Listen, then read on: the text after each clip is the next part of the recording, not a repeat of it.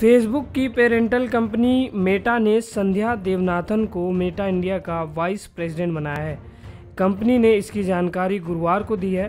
Company ने एलॉन Meta India के कंट्री हेड अजीत मोहन के कंपनी छोड़ने के बाद उनकी जगह संध्या देवनाथन को दी है।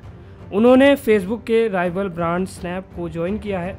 उनके साथ ही WhatsApp India head Abhijit Bose और मेटा इंडिया के director of publish policy Rajiv Agarwal ने कंपनी से रिज़ाइन किया था। बता दें, संध्या देवनाथन इससे पहले एशिया पैसिफिक मार्केट के गेमिंग वर्टिकल की कमान संभाल रही थी और अब कंपनी ने उन्हें नई जिम्मेदारियाँ सौंपी हैं।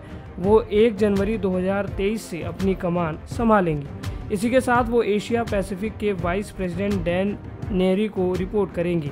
वहीं कंपनी ने बताया है कि वह एशिया पैसिफिक लीडरशिप टीम का हिस्सा भी होंगी। अजीत मोहन के बारे में बात करें तो वो स्नैपचैट से जुड़ने जा रहे हैं। अजीत मोहन ने जनवरी 2019 में फेसबुक इंडिया के प्रबंध निदेशक के रूप में काम संभाला था।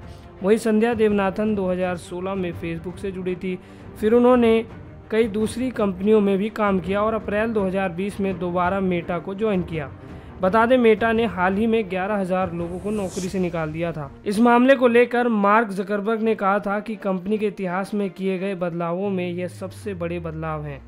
इसके साथ ही उन्होंने अपने कर्मचारियों से माफ़ी भी मांगी है।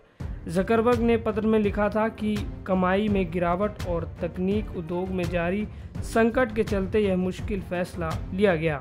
इसी तरह की तमाम खबरों को जानने के लिए देखते रहिए पंजाब केसरी डॉट कॉम।